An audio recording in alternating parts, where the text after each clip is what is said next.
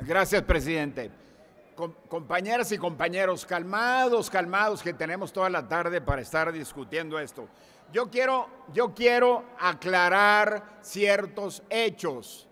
Aquí se ha vertido de una manera, pues poco reflexiva, creo yo, que los diputados de Acción Nacional y algunos valientes diputados de la izquierda, por desgracia no nos acompañan los demás, ah, estamos bajo el entendido de que recibimos órdenes de los órganos empresariales. Yo nomás quiero aclarar un hecho muy concreto.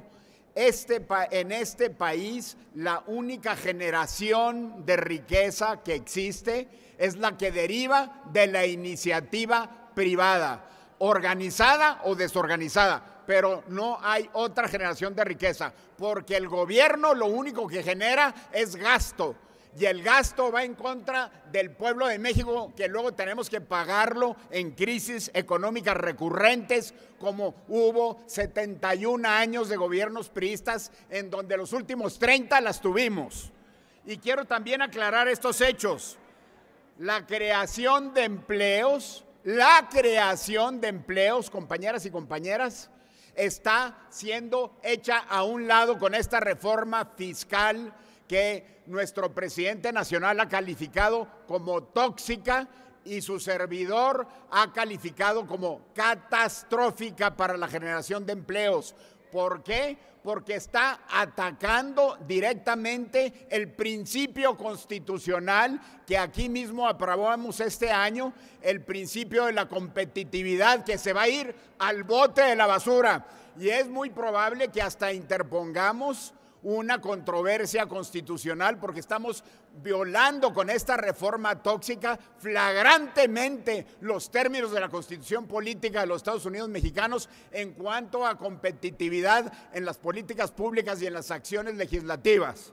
Quiero finalmente aclarar, compañeros y compañeras, que el IVA en la frontera es un ataque directo a todas las mujeres y hombres valientes en la frontera que se la han rifado en contra de la guerra civil que se ha desatado entre el crimen organizado por la permisibilidad principalmente de los gobiernos del PRI que han dejado que todo ese negocio permee en las fronteras.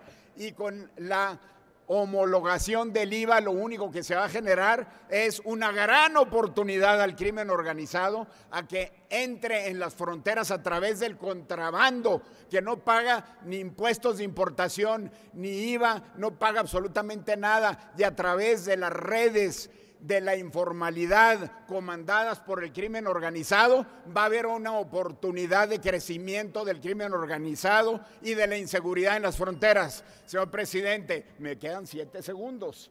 Y quiero mencionarle, no, ya me pasé siete segundos, perdonando. Entonces quiero nada más aclarar eso, señor presidente, que quede muy claro, esta reforma ataca al empleo, ataca las fronteras y promueve al crimen. Gracias.